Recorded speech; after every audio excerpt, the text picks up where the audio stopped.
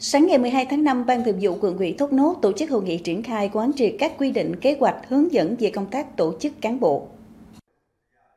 Tại hội nghị, đồng chí Phạm Văn Tâm, Ủy viên Ban Thường vụ quận ủy, trưởng ban tổ chức quận ủy đã triển khai một số quy định hướng dẫn mới của Trung ương, của thành phố về công tác quy hoạch cán bộ,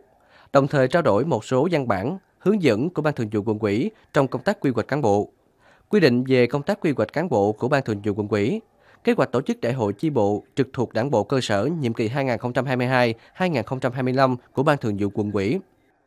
Theo kế hoạch, thời gian tổ chức đại hội điểm từ ngày 2 tháng 6 năm 2022 đến ngày 10 tháng 6 năm 2022. Các chi bộ còn lại hoàn thành trong tháng 7 năm 2022.